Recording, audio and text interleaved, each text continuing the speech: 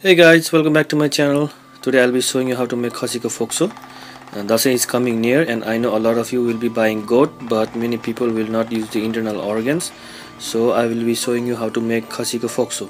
This is a traditional Newari method of making phokso I learned from my mom. So let's get started. First up you'll need a goat lungs and make sure there is no leakage.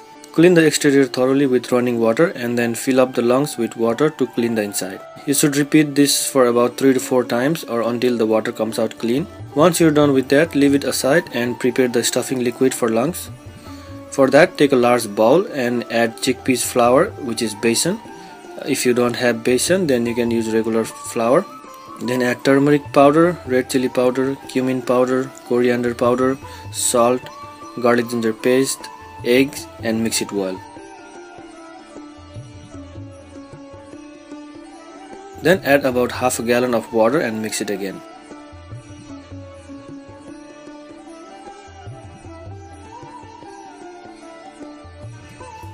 Then use a strainer and strain the liquid to remove the excess masala.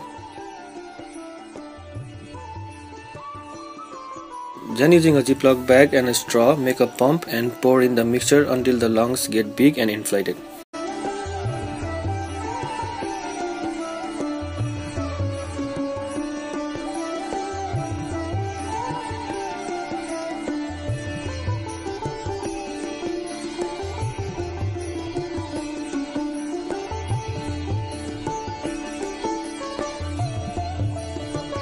Then tie the pipe with a thread to prevent leakage. The reason we are filling the lungs is because it will absorb the liquid and give flavor. Then you will boil the lungs for about 20 to 25 minutes and set aside to cool down.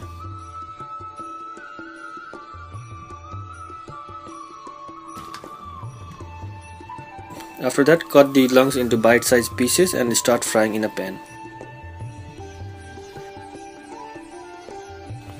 Add some oil in a pan and fry each side for about 5 minutes.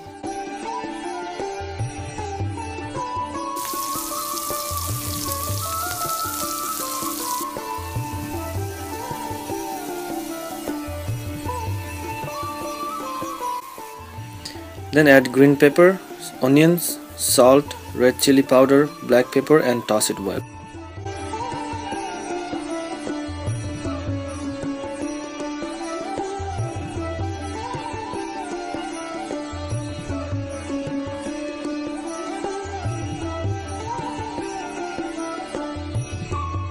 At the end, garnish with cilantro and serve. I hope you guys enjoyed this video. Please give it a try and also share it with your friends and family. Also don't forget to like and subscribe to my channel. Uh, next week I will be posting a video on Khasiko Bhutan. So stay tuned for the video. Bye guys.